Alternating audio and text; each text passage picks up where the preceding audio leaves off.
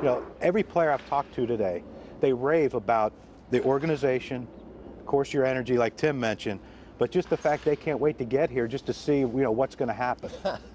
well, and you know too, Crucky. I mean, look, this is serious business, and you know you got to make sure that you don't cross the line between having some fun and, and, and being serious about uh, about what's important. And I think, I think I've been able to do that with with keeping the lines of communication open, having fun with these guys, but also driving home the points, whether it's fundamentals or whatever, so that so that we make sure that we, that we concentrate. And I can't wait to get here every every day because uh, every day is a new thing. You know, you get into this routine everybody talks about, but the routine is all of a sudden there's an issue today here or with this player or that player. And the challenge to me is not to figure out what my lineup's going to be. I mean, we're going to look at numbers, we're going to look at matchups, uh, plug the guys in that are doing the job every day and do it. But the bigger thing is is the daily stuff one-on-one with your players and, and especially your bench guys. Right. When you walk down the street in Chicago, does everyone know who you are now?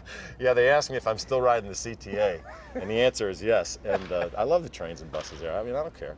So, but yeah, um, I had a, a, a, you know a real nice story when I first came in following Lou, and uh, some people were on the platform at the Red Line and said, uh, you know, I heard them talking, and so finally whoever drew the short straw came over and said, you know, are, are you Mike Quade? And I said, yeah. He said, you know, what are you doing here?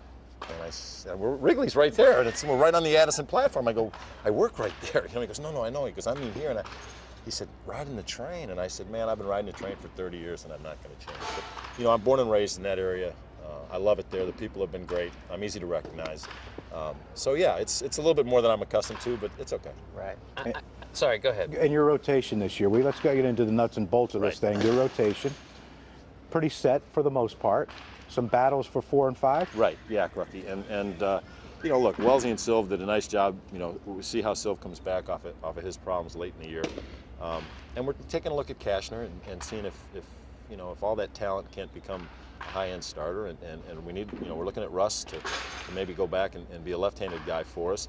We bring Welly in, we bring Loop in. And so there's, you know, and Casey Coleman finished up and did a great job. So there's plenty of competition, and, and you guys know too that you know whether it's starting or whether it's filling in the back end of the bullpen. I mean, people are looking to make a club, so there's competition at the back end of the bullpen, I would say, and also in the, in the last two spots. All right, you signed Carlos Pena to play first base. He had a little bit of a down year last year. What have you talked to him about to try to get him back to where he was even two years ago? You know what? And I should say, well, I said this and this. Nothing. Right. I mean, he's such a good kid, and I do have a little bit of a familiarity with him in Oakland, and and uh, you know, I mean, it's the same message. Just, just relax, and, and, and he'll work to get better. He doesn't need me to tell him what to do. I mean, he's that kind of kid. So I hope his relationship with Rudy is good. It sure seems like it.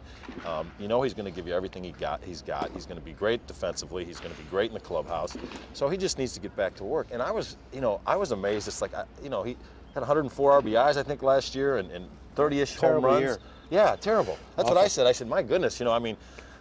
I'm okay with that, and right. but I know he, he'd like to put the ball in play more and, and build on that. How, so. how, big is Aramis Ramirez for you? He's, he's huge. I mean, absolutely huge. Uh, he looks great. Um, you know, he's moving around. He's, I mean, the main thing, Crucky, is look, this guy can hit. Yeah. We know that. Um, is he injury free? Is he healthy?